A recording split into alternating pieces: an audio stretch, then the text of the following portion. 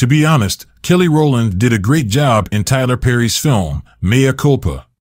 Occasionally, you would forget that you were watching the beautiful musician, especially towards the end of the film. Being one of her major roles in such a project, it is expected that some blunders had to come up. For instance, shortly after the release of the erotic thriller on Netflix on February 23, 2023, some fans took to X, formerly Twitter, and the only memorable thing they could remember of the film was the sex scene between Zaire and Maya. One person wrote and wondered why Tyler Perry would make a highly coveted classy woman like Kelly Rowland to be involved in a raunchy disturbing scene with paint on a hardwood floor. A few social media users said they probably wouldn't watch the flick again. It was not only fans who gave reviews that were not so good. On Rotten Tomatoes, only 17% of critics liked the film, giving it an average rating of just 3.1 out of 10.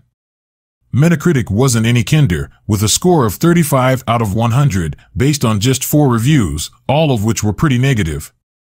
According to Lisa Kennedy from the New York Times, the movie is basically a steamy and silly thriller.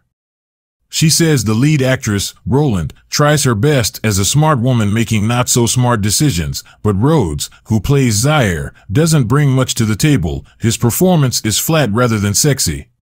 Murtada Elfadil over at Variety thinks some people might call it trash, but he finds something kind of admirable in the filmmaker's dedication to giving the audience what they want.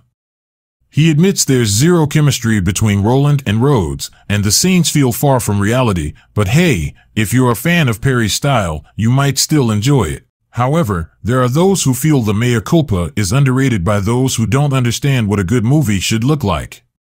After the film started trending on X, Kelly Rowland jumped onto her official X account to express gratitude to all the fans who loved it. If you have watched I and you are familiar with how Tyler Perry does his thing, do you think the film was up to standards?